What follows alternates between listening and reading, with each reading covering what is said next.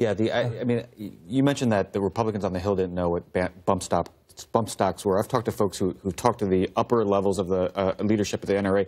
They didn't know what bump stocks Yeah. were, and, and this really freaked them out. Uh, and, and the idea that you can turn these semi-automatic into automatic, but this also raises the question if, if and I think what, what, what Wayne LaPierre is getting at there is if you, if you put a ban on the floor of, of these that would ban a device that turns something into an automatic weapon, then the, even the initial question is why not a full ban on all automatic weapons, which is not the, which is not the case. Anything made after 85 is is legal right now. So you, you start to it, it's it's a slippery slope here.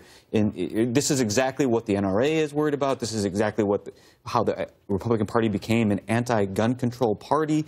Uh, we've seen uh, and, and we've already seen Tom Massie on Twitter saying, "Hey, we Republicans control the." the Senate, the House, and the White House, and we're talking about gun control measures. Bright,